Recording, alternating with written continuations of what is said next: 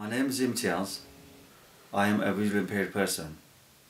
I was struggling to get transport at the hospital, but I was not successful. However, I contacted PALS. They organized a transport for me. Let PALS help you and get what you need from NHS.